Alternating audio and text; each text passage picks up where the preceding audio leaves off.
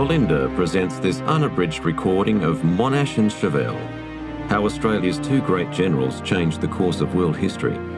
Written by Roland Perry and read by David Tredinnick.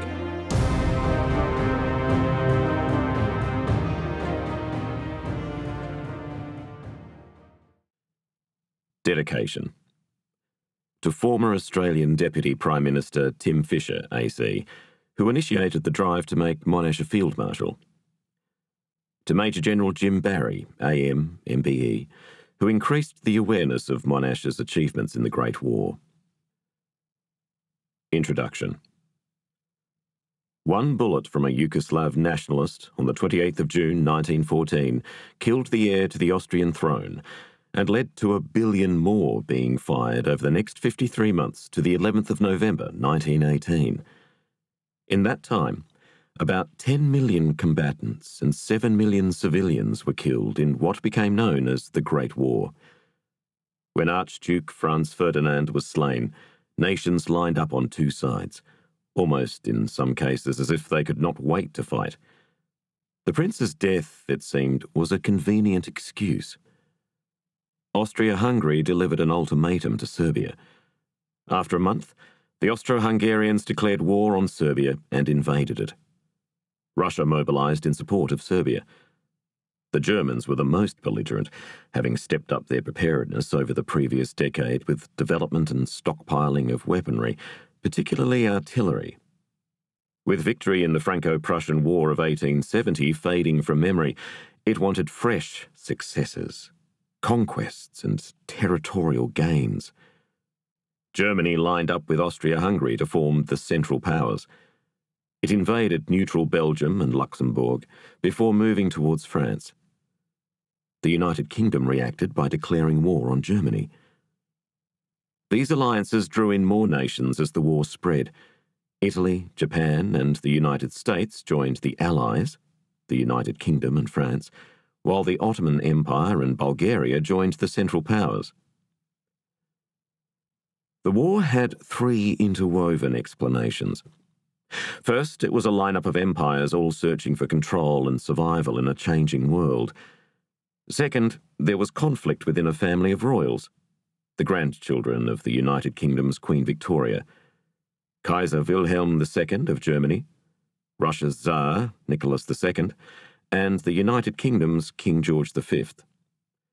Wilhelm II was the belligerent of the three, who imagined that his two cousins, in fact, most of the extended royal family, were against him. If these three had come to a rapprochement, war may have been avoided.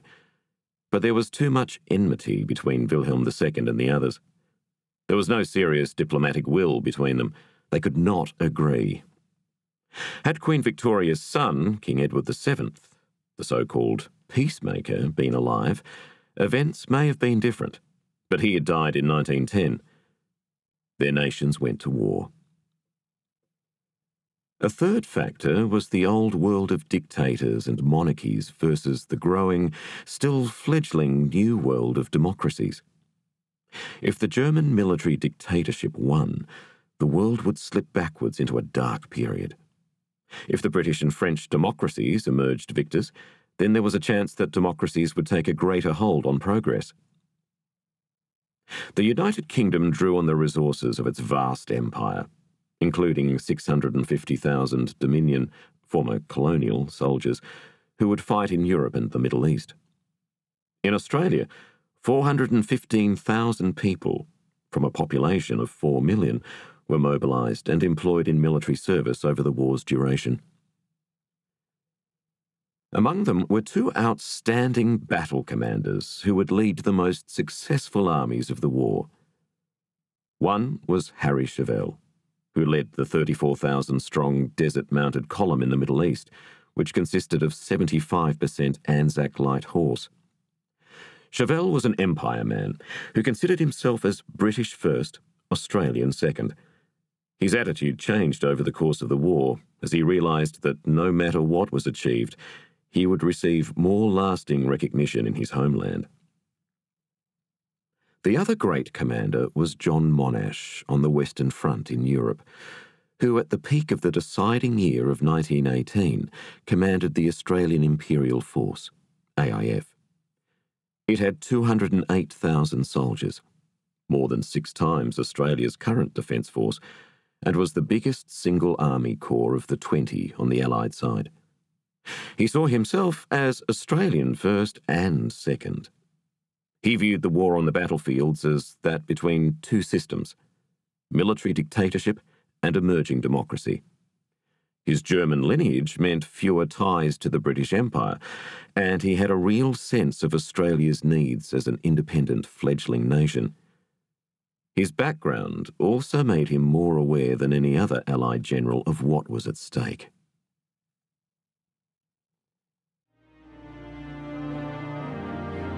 Part 1 1915 to 1917.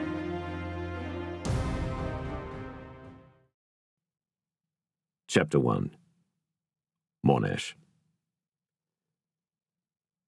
Australian generals John Monash and Harry Chauvel were poised with their armies early in 1918 to have a real impact on the two major battle areas of the Great War. At the beginning of that fateful year, Monash was running a division of 30,000 soldiers on the Western Front in northern France. Before mid-year, he would be Commander-in-Chief of the 1st Australian Imperial Force, the biggest of the 20 Army Corps on the Allied side, when the nation's five divisions would come together as one fighting unit for the first time ever. In the Middle East, Harry Chauvel commanded the Desert Mounted Column, fighting the Turkish army, it was made up of 75% Anzac light horse, and the rest, variously, from British cavalry, Indian Lancer, and Jewish and West Indian contingents. By mid 1918, he and his force were ready to attempt to push the Turks out of the Middle East after 400 years of sometimes brutal rule over the many Arab tribes. Both these generals had strong records during the years 1915 to 1917. They came into contact with each other on Gallipoli in May 1915, when in the original Anzac force. Monash was a brigadier running 4th Brigade at Monash Valley above Anzac Cove. Chauvel's 1st Light Horse Brigade, without their horses, relieved it after three weeks of intense and bloody fighting. Monash stayed with Chauvel to help him adapt to the hideous, demanding conditions, leaving some of his brigade side by side with the light horsemen, who had not been trained for this kind of battle. Chauvel then gained a healthy respect for Monash, who until Gallipoli was known as a citizen soldier. In other words, he was not a regular army officer, and therefore not considered up to the challenges of war. But if ever an individual was underestimated, it was Monash.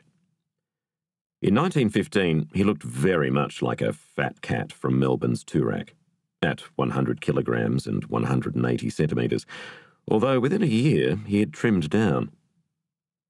Monash, an engineer by profession, had a building business that had put up scores of bridges and other constructions around Australia.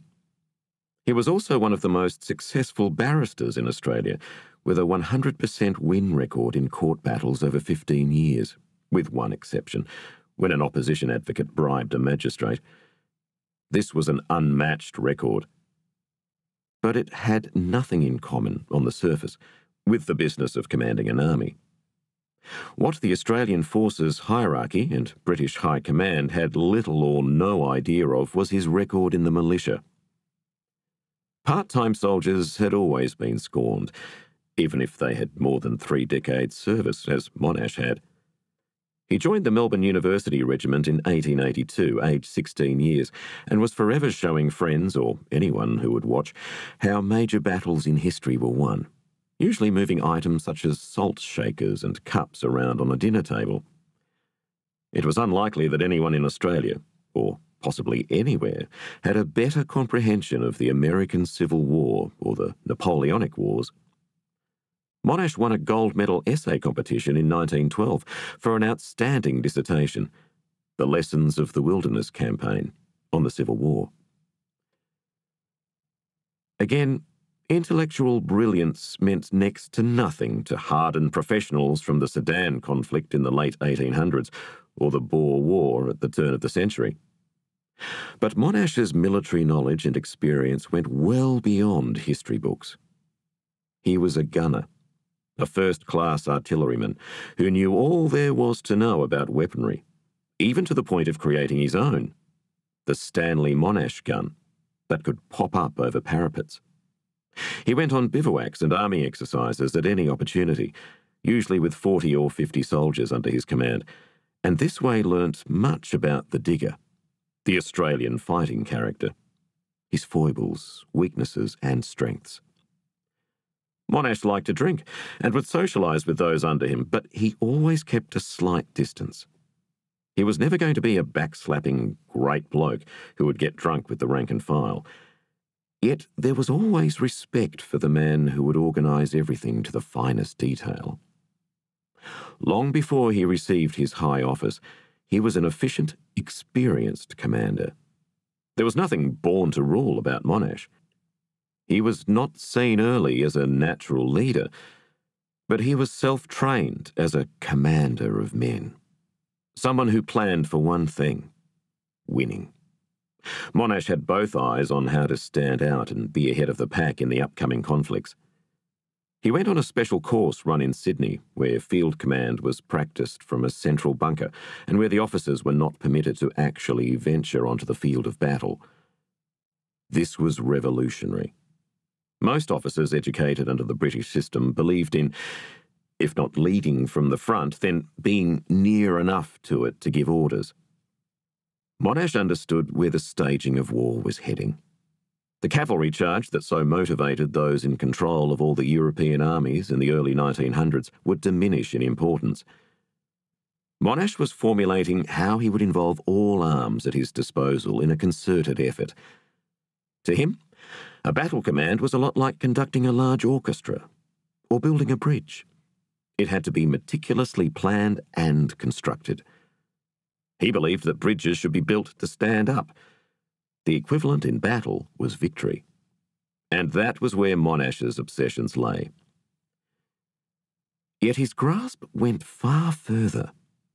In 1901, he lectured at Australia's Royal Military College, Duntroon, and predicted the next major war would be a mechanised one with flying machines, armoured vehicles, tanks, and artillery predominant.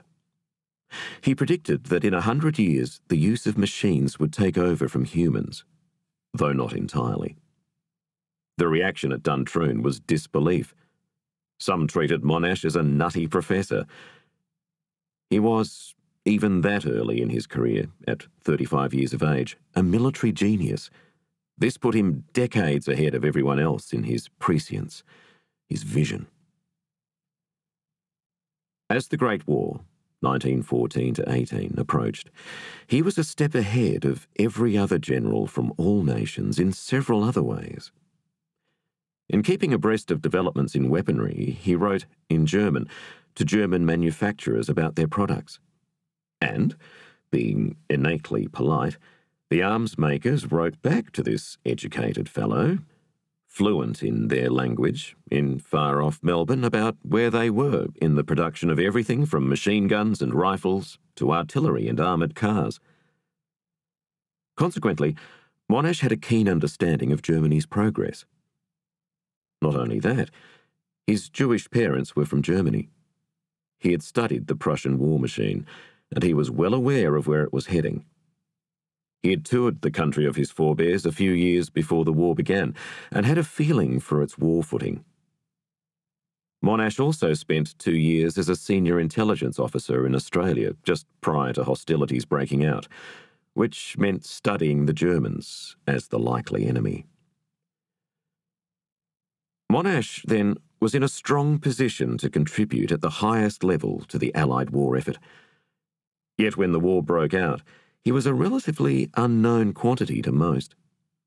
His unprecedented resources as a future battle commander were not understood, and even if he impressed the British High Command, they would never be quick to promote someone from a former colony and a non regular officer, not to mention having Jewish and, worst of all, German heritage.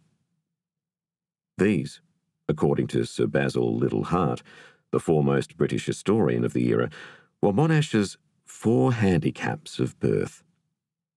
If ever someone would have to work hard to prove himself, it was John Monash. Even his appearance set him apart. He was handsome, but not in the conventional Anglo Saxon sense. Sherlock Holmes' creator, Arthur Conan Doyle, was a journalist during the war. He was taken with the sheer power of Monash's presence. There was nothing of the swagger expected from some generals, nor the bombast about the Allies coming out victorious. Doyle found his comments were matter of fact and convincing. Monash had an undemonstrative charm, which was not manufactured to impress. He was precise. We hope you enjoyed this preview. To continue listening to this audiobook on Google Play Books, use the link in the video description.